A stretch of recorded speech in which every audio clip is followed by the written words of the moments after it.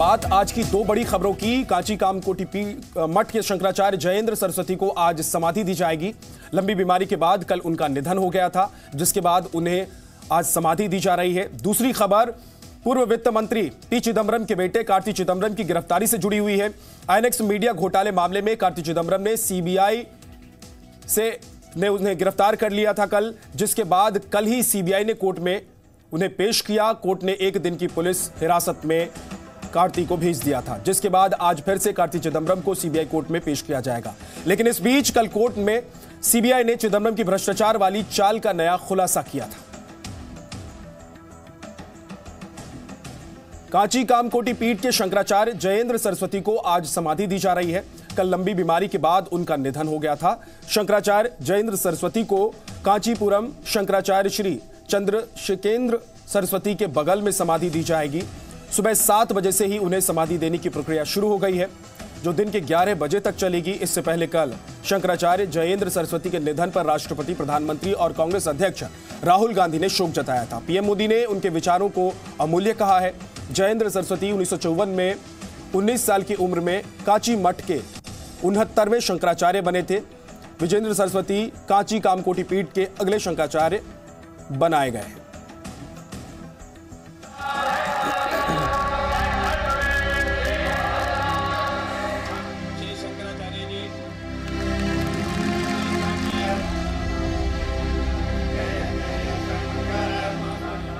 कांची कामकोटी पीठ के शंकराचार्य जयेंद्र सरस्वती का कल निधन हो गया। शंकराचार्य सांस लेने में तकलीफ़ के बाद अस्पताल में भर्ती थे। जयेंद्र सरस्वती उन्नीस में 19 साल की उम्र में कांची मठ के उनहत्तरवे शंकराचार्य बने थे। पीएम मोदी ने उनके निधन पर शोक जताते हुए उनके साथ अपनी तस्वीर भी शेयर की।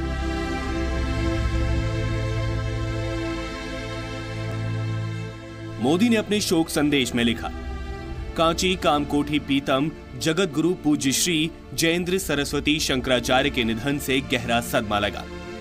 वो अपने विचारों और अमूल्य सेवाओं की बदौलत लाखों श्रद्धालुओं के मन और मस्तिष्क में हमेशा ज़िंदा रहेंगे। भगवान उनकी आत्मा को शांति दे। कांग्रेस अध्यक्ष राहुल गांधी ने शंकराचार्य जयेंद्र सरस्वती के निधन पर शोक जताया और ट्वीट किया। पूज्य श्री जयेंद्र सरस्वती शंकराचार्य के निधन की खबर सुनकर दुख हुआ। भगवान उनकी आत्मा को शांति दे। राष्ट्रपति रामनाथ कोविंद ने भी शंकराचार्य जयेंद्र सरस्वती के निधन पर शोक जताया। संघ प्रमुख मोहन भागवत ने भी उनके निधन पर दुख जताया है। शंकराचार्य जयेंद्र सरस्वती कांची कामकोठी पीठ के उनहत्तरवे मठ प्रमुख थे। 18 जुलाई 1935 को शंकराचार्य बनने से पहले उनका नाम सुब्रमण्यन महादेव अय्यर था। अड़सठवें शंकराचार्य, चंद्रशेखरेंद्र सरस्वती ने उन्हें उत्तराधिकारी बनाया। सिर्फ़ 19 साल की उम्र में जयेंद्र सरस्वती मठ के उत्तराधिकारी बने। जयेंद्र सरस्वती को चारों वेदों का ज्ञाता माना जाता था।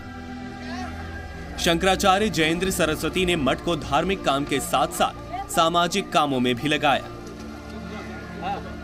कांची, कामकोटी पीठ, कांचीपुरम में स्थापित एक हिंदू मठ है, जिसे पाँच पंचभूत स्थलों में एक माना जाता है।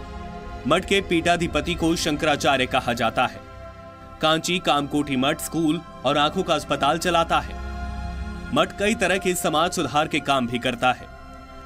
चंद्रशेखरेंद्र सरस्वती मठ के सामाजिक कामों के पक्ष में नहीं थे।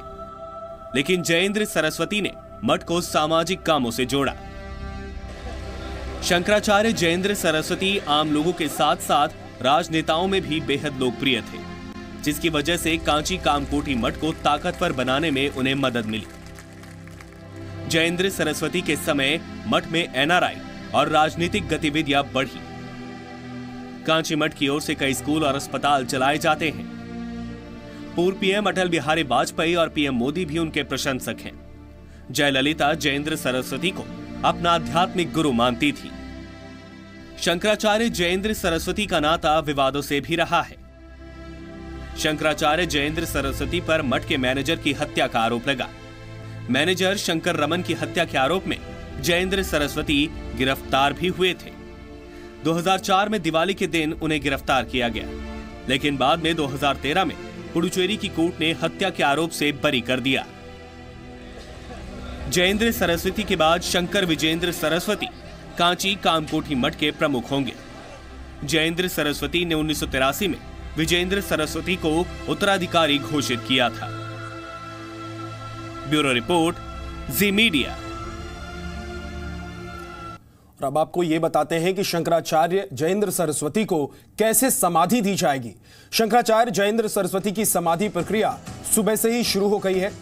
देश भर से आए वैदिक पंडित मंत्रोच्चारण के साथ विशेष पूजा करेंगे। विशेष पूजा में चारों वेदों से अलग अलग मंत्रों का पाठ किया जाएगा।